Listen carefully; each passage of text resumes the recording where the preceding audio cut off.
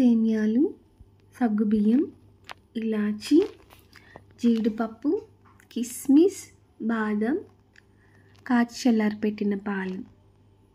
Most important పటిక ఒక పాన్లో వన్ కప్ సేమియాలను యాడ్ చేసుకోవాలి. వీటిని పచ్చివాసన పోయేలా దూరంగా లైట్ గోల్డెన్ కలర్ వచ్చే వరకు ఫ్రై చేసుకోవాలి. ఇలా ఫ్రై చేసిన సేమియాలను పక్కన పెట్టుకుని వేరొక పాన్లో వన్ కప్ సగ్గు బియ్యం తగినన్ని వాటర్ వేసుకుని ఉడకనివ్వాలి.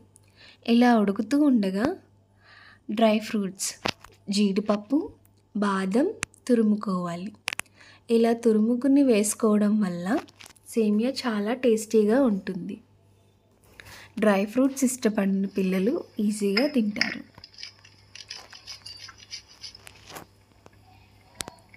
సగ్గుబియ్యం ఉడికిన తర్వాత ఫ్రై చేసి పక్కన పెట్టుకున్న సేమియాలను యాడ్ చేసుకోవాలి.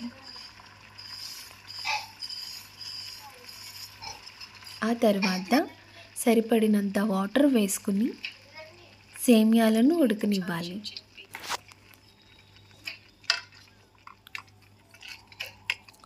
ఇలా ఉడుకుతూ ఉండగా ఆరు ఇలాచీని యాడ్ చేసుకోవాలి. తురుము పెట్టిన డ్రై ఫ్రూట్స్ యాడ్ చేసుకోవాలి.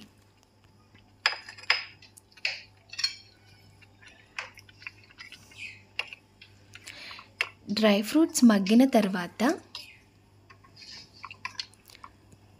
సరిపడినంత కిస్మిస్ యాడ్ చేసుకోవాలి. డ్రై ఫ్రూట్స్ ఉడికిన తర్వాత వన్ కప్ షుగర్ని యాడ్ చేసుకోవాలి.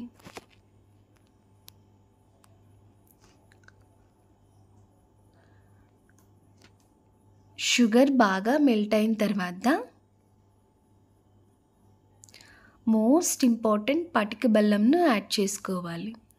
పటిక బెల్లం వేసుకోవడం వల్ల సేమియా చిక్కబడకుండా ఉంటుంది.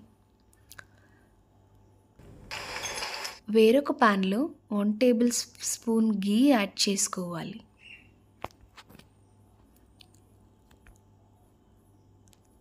చిన్నగా కట్ చేసి పెట్టుకున్న బాదం ముక్కలను వేసుకుని ఫ్రై చేసుకోవాలి. బాదం ఫ్రై అయిన తర్వాత జీడిపప్పును యాడ్ చేసుకోవాలి. జీడిపప్పు ఫ్రై అయిన తర్వాత కిస్మిస్ని యాడ్ చేసుకోవాలి. జీడిపప్పు బాదం లైట్ గోల్డెన్ కలర్ వచ్చే వరకు ఫ్రై చేసుకుని పక్కన పెట్టుకోవాలి. ఆ తర్వాత కిస్మిస్ని కూడా వేయించుకుని పక్కన పెట్టుకోవాలి.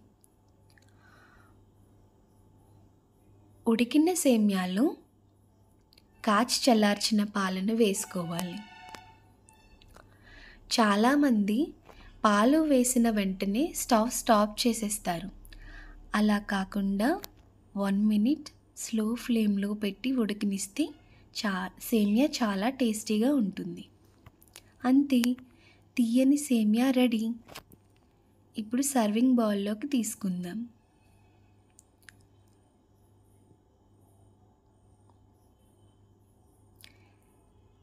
సేమియాని ఇలా సర్వింగ్ బౌల్లోకి తీసుకున్న తర్వాత వేయించి పక్కన పెట్టుకున్న డ్రై ఫ్రూట్స్ జీడిపప్పు బాదం కిస్మిస్ వేసుకుని గార్నిషింగ్ చేసుకోవాలి.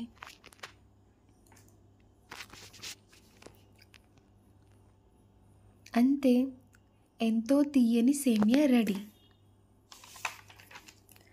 ఏదైనా మంచి పని చేసే ముందు ఏదైనా మంచి పని జరిగినప్పుడు నోటిని తీపి చేసుకునే పద్ధతిలో మనకు వెంటనే గుర్తుకు వచ్చేది sweets and chocolates and semiya.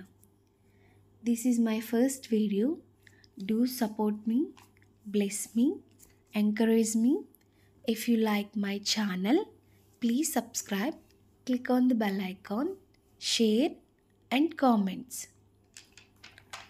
Thanks for watching this video.